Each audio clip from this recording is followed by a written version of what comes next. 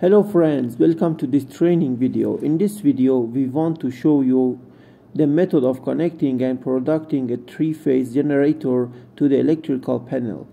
This is a 12 kilowatt generator and we want to use it to turn on these air conditioners.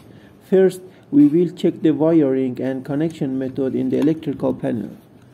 The red screws are the output three-phase and the black screw is the neutral output from the generator. These four wires need to be connected to the input of the electrical panel.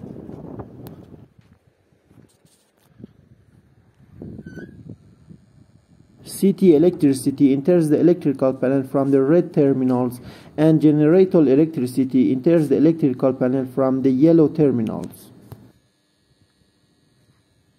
This two-mode switch changes the power input from the city power to the generator power.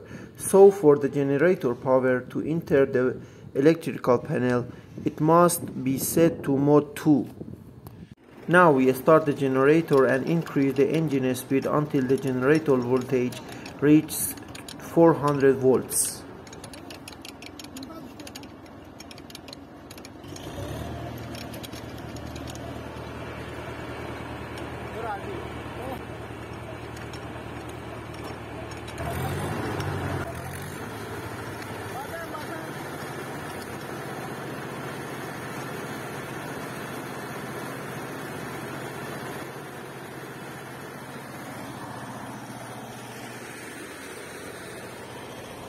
Now we put the two position switch on the second position and turn on the consumers.